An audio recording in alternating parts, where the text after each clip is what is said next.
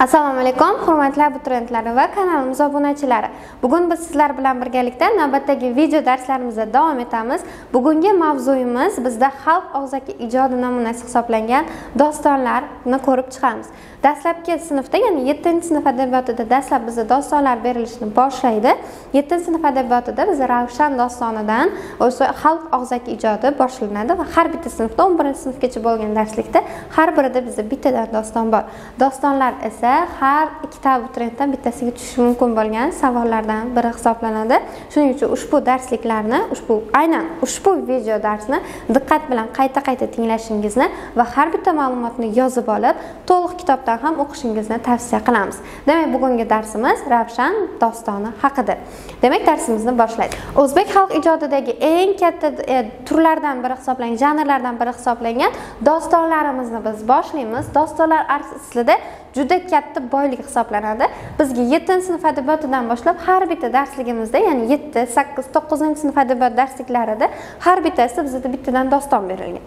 Va ana shu dostonlarni birinchi boshlanishi ravshan dostonidan boshlanadi. Ravshan dostonida qanday voqealar bilan boshlanadi? Hozir ko'rib chiqamiz.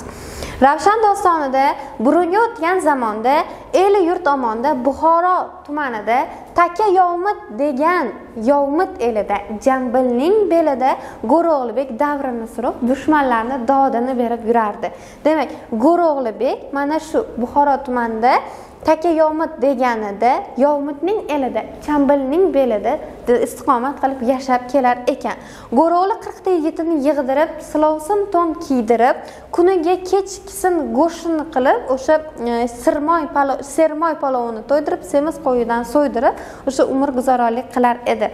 Lekin uni farzandi bo'lmaydi. Go'ro'g'libek o'sha ikkita bog'dan ikkita parini olib keladi. Bizda yunus pari bilan misqol parini ko'hkof va bog'i eramdan olib kelganligini ko'rarkanmiz. Demak go'ro'g'libek yunus pari va misqol parini yunus parini ko'hkofdan misqol parini esa bog'i eramdan olib kelib o'zi bilan birgalikda yashaydi. Demak yunus pari ko'hkofdan misqol pari esa bog'i eramdan olib kelinadi. Va bundan tashqari go'ro'g'libekni farzandi bo'lmaydi. Go'ro'g'libek va yangandan hasanxonni xunxordan avazxonni olib keladi. Yetti yoshida ushbu farzandlar yetti yoshga kirganida hasanxonni vayangandan avazxonni esa xunxordan olib kelib yashay boshlaydi. Va vaqt o'tib avazxonni og'a yunus pariga hasanxonni esa misqol paraga tarbiyasini topshiradi.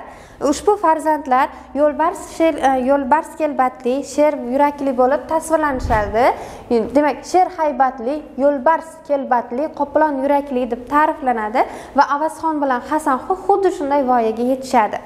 Sher haybatli yo'lbars kelbatli qoplon yurakli bo'lib voyaga yetishadi. Va ana shu voyaga yetishganidan so'ng hasanxon arzumdan xondallini olib qochib keladi.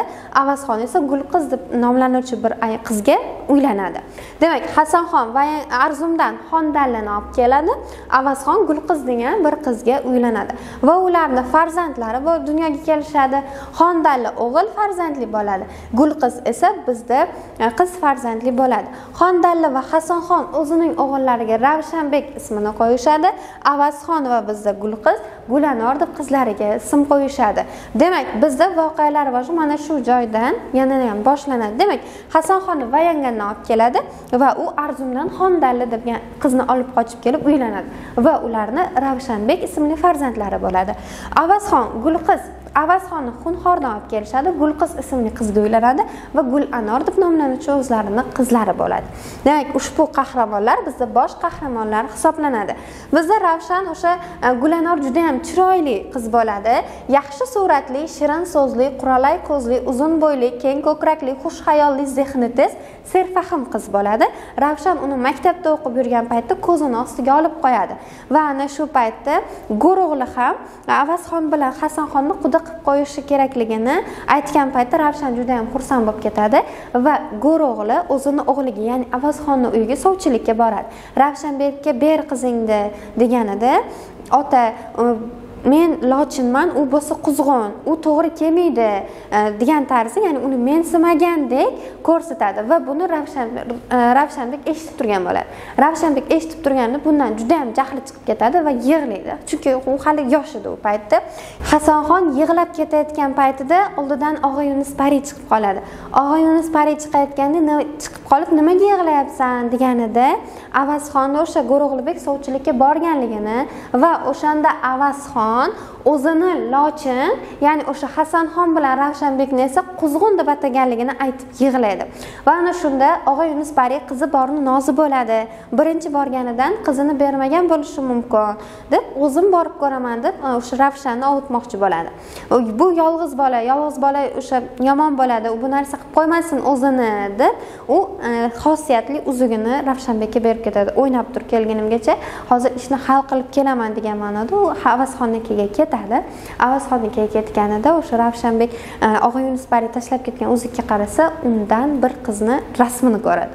U qiz esa bizda judayam chiroyli qiz hisoblanadi. Zulxumor hisoblanadi. Zulxumorni rasmini ko'rib qoladi.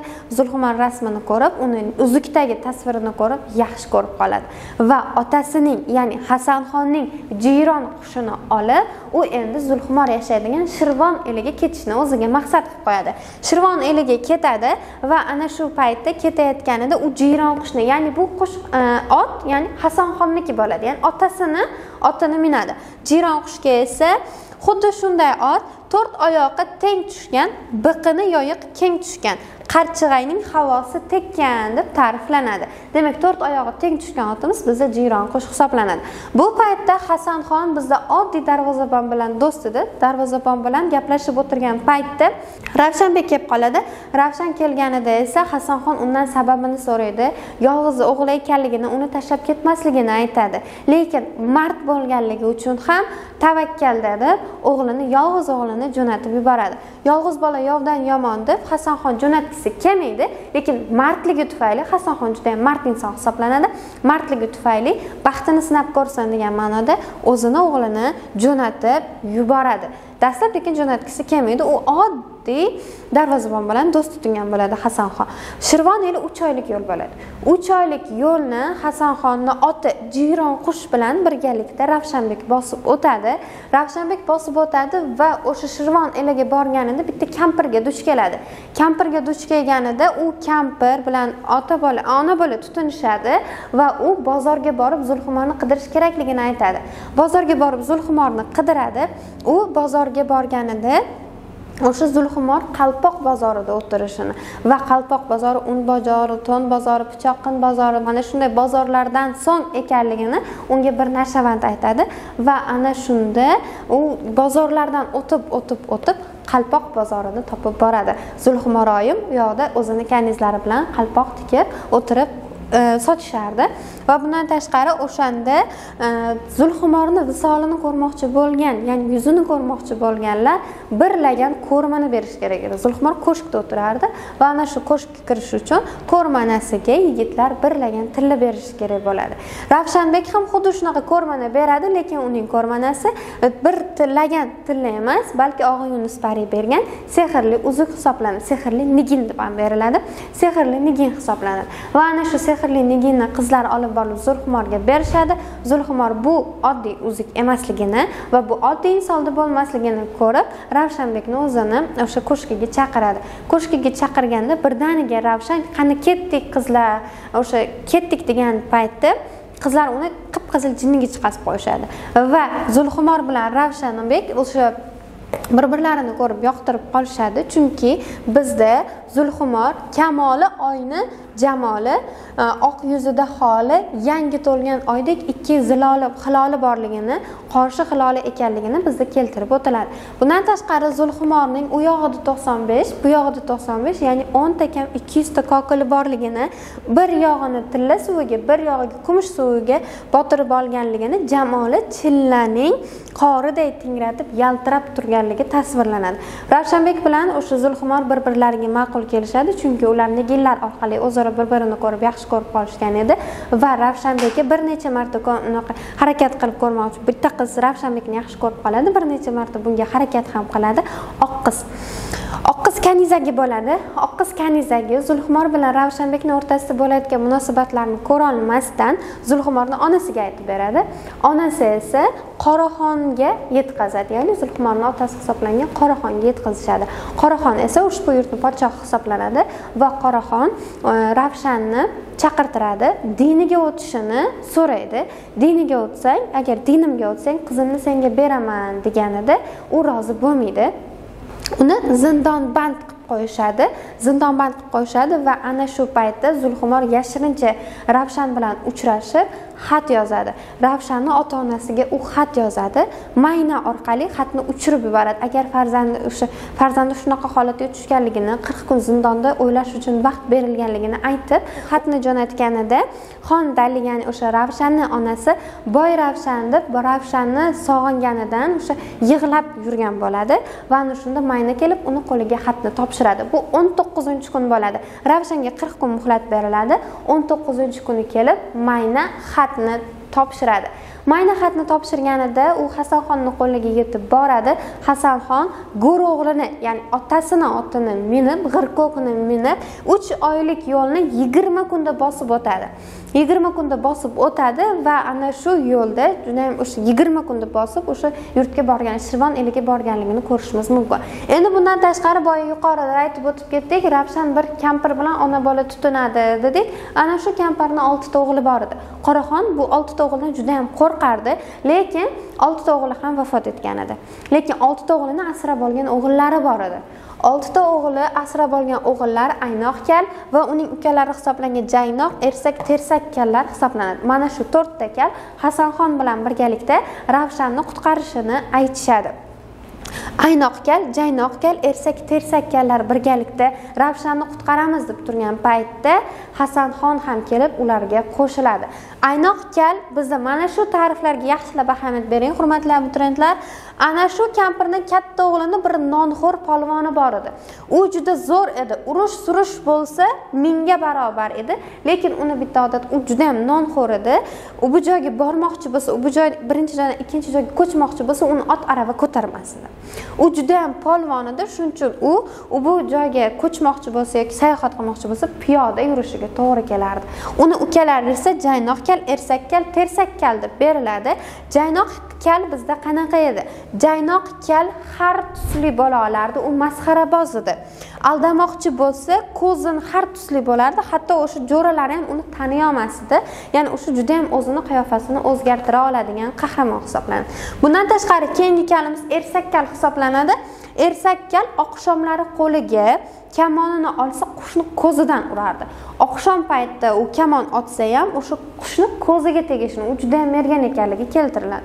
Bundan tashqari bizda uchinchi kalimiz tersakkal bo'ladi. Tersakkal esa yilqining tulporni suyagidan yaxshi yomonligini ajratadigan darajada sinchi ya'ni juda yam sinchkov bo'ladi. Demak ersak kal aynoq kal jaynoq kal va e, hasanxon bilan birgalikda ular kuzatishadi. O'sha e, ravshanni qutqarmoqchi bo'lishadi. Tersakkal otidan ya'ni ig'irko'k otidan hasanxon kelganligini aytadi. Va ana shu paytda u jaynoqdan gap ham eshitib qoladi. Bir nashavandni o'sha bir insonni hasanxonga o'xshatganligi uchun gap ham eshitib qoladi. Lekin u aslida hasanxon ekanligini tersak bilib qolgan bo'ladi. To'rtalalari endi birgalikda ravshanni qutqarishadi. Ravshanni olib chiqishadi. Qirqinchi kuni zindondan olib chiqishganda ularga yana savol berishadi. Dinimizga o'tasanmi? Agar zulhumaroyim qizimizni beramiz deb so'rashganida ana o'shanda ravshan aziz boshing oyog'imga teng emas deb javob beradi. Ya'ni dinini almashtirmasligini aytadi va ana shu paytda ur to'polon boshlanib to'rtta pahlavon ya'ni to'rtta kal va hasanxon birgalikda o'sha qoraxonlarni o'ldirib e, ravshan va zulhumaroyimni yakunlanar ekan demak bizda ushbu ravshan dostoni bizda go'ro'g'li turkumiga kiruvchi doston hisoblanadi. Dastlabki qahramonimiz bizda go'ro'g'lidan boshlanardi ushbu dostonimizda ham go'ro'g'li bizda o'zbek xalq adabiyotida judayam katta o'rin tutadigan dostonlar turkumini hosil qiladi. Barcha dostonlarimiz go'ro'g'lidan boshlanadi va u yuztadan oshadi. Go'ro'g'li turkumidagi dostonlarimiz yuztadan oshadi. Rustam ravshan dostoni esa bizda g'oyatda pishiq hisoblangan sujetli doston hisoblanadi. Bu hodizarif tomonidan birinchi marta ergash jumon bulbul og'zidan yozib olingan. Demak biza ergash jumon bulbul og'zidan hodizarif yozib olgan doston hisoblanar ekan. Ushbu dostonimiz bizda ergash jumon bulbulning otasi va ustozi kichik bo'rondan o'tib kelgan. Ko'ryapmizki o'sha uchta avlod o'tib bizga yetib kelgan doston hisoblanadiki balki undan ham ko'p bobolarimiz tomonidan aytilgan bo'lgan bo'lishi mumkin. Ushbu xalq og'zaki ijodi hisoblanadi. Va ushbu darslikdagi ko'rinishi hodizarov tomonidan berilgan. Bizda ravshan dostonida ravshan o'zining yoshligi tajribasizligi tufayli asrga tushib qoladi va dinini o'zgartirmaganligi bizda keltirib o'tiladi. Bundan tashqari bizda keyingi ahamiyat beradigan joylarimiz bizda mardliklarga juda yam katta ahamiyat berishimiz kerak. Xalq og'zaki ijodimizda mardliklar judayam keng va ko'p yoritiladi. Hattoki mubolag'alardan ham foydalanib yoritiladi. Hasanxon bizda go'ro'g'lini tarbiyasini olgan inson hisoblanadi. Uni o'g'li ravshan bo'ladi va o'sha ravshanni qutqarish uchun uch oylik yo'lni yigirma kunda bosib o'tganligini biz uni mardligini ko'rishimiz mumkin bo'ladi. Jismoniy holatini mana shundan ham bilib olsak bo'ladi. Va o'sha yolg'iz farzandini e, tavakkalda deb mardligi uchun qo'yib yuborganligidan ham bilsak bo'ladi. Va shirvon bozorini o'sha boya aytdik zulhumor qalpoq bozorida o'tiradi dedik. Mana shu qalpoq bozorigacha bo'lgan yo'l bir yuz qirq besh misralik she'riy usulda bizga yetkazib kelingan. Bundan tashqari bizda nasr saj ya'ni saj degani bu ichki qofiya o'sha ko'rib turibmiz sher haybatli yo'lbars kelbatli qoplon yurakli tarzi har bitta so'zimiz bizda qofiyalangan bu saj san'atini hosil qiladi. Ushbu dostonimizda yetti sakkiz o'n bir bo'g'inli barmoq vaznida yozilgan hisoblanadi. Bizda tezlashtirilgan sahnalarimiz e, sakkiz bo'g'inda urush sahnalarimiz yetti bo'g'inda va bundan tashqari jang sahnalarimiz o'n bo'g'inda aks etgan dostonimiz hisoblanadi. Bu bizda baxshilar tomonidan kuylangan baxshilarni ba'zan shoir va ba'zan baxshi ba'zan xalfa deb ham atashgan ekan. Biza mubolag'a san'atidan juda yam keng foydalangan ushbu dostonda masalan hasanxonni o'sha e, jismoniy holati ya'ni uch oylik yo'lni yigirma kunda bosib o'tishi va jaynoqkalni o'zini o'zgartira olishi bu e, jismoniy mubolag'a hisoblanadi. Aslida real hayotda bunaqa holatlar bo'lmaydi. Inson semiz bo'lishi yo boshqa bo'lishi mumkin lekin o'zini har turga sola oladigan hasanxonni g'azabi keltirgan holatlar bizda mubolag'a hisoblanadi. Dostonlarda esa mubolag'alarimizdan keng foydalaniladi. Mubolag'ani bizda mubolag'a xuddi shunaqa holatlarda ya'ni o'sha real hayotda mavjud bo'lmagan holatlarda ishlatiladi va bundan tashqari behad orttirilgan bo'lsa bulug' yoki ifrot ham deb ataladi. Bulug' yoki ifrot ham bizda behad orttirilgan mubolag'a hisoblanadi. Aqlga sig'maydigan darajada bo'ladigan bo'lsa bizda g'ulu deb ataladi. Demak hurmatli abituriyentlar bizda ravshan dostoni va u haqida olingan parcha va berilgan nazariy ma'lumotlarimiz mana shulardan iborat edi. Ushbu video darsliklarimizni do'stlaringiz bilan ham ulashing va ularga ham dostonlarni o'zlashtirishda onlayn o'zlashtirishlarida o'z yordamingizni bering. Keyingi darsliklarimizda biz sizlar bilan yana birgalikda yettinchi sinf adabiyot darsliklarida davom etamiz. Ushbu videoni yaqinlaringiz bilan ham ulashing. Xayr salomat bo'ling.